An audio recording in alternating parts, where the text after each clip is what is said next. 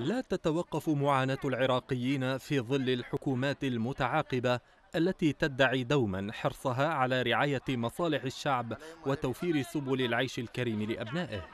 ادعاءات حكومية يكذبها واقع مرير يعيشه العراقيون بمختلف شرائحهم الاجتماعية لا سيما النسوة المطلقات أو الأرامل المشمولات بمظلة الرعاية الاجتماعية لحكومة العبادي من عيد رمضان. شنو المشكلة رحتم ليش قطعتوا راتبي قالوا نريد نطلع باحث عليك اطلعوا الباحث اعطوني 190 قطعوا فردنا بعد غديت أراجع بيهم. قالوا نريد تقابلين القاضي. قابلت القاضي. الدور قالوا باحث. والحسين باحثين طلعت. والقاضي جيت قابلته. ومعاملة. كل يوم. كل ما يجي راتب أجي ادق اسمي يقولوا له روح 10 أيام. روح 20 يوم. وأنا أرملة.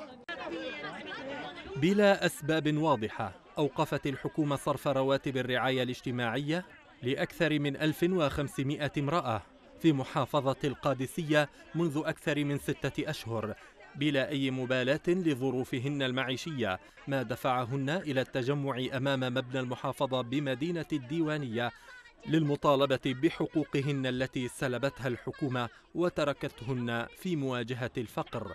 لا سيما أن لدى الكثير منهن أطفالا بعد الطلاق أو وفاة الزوج.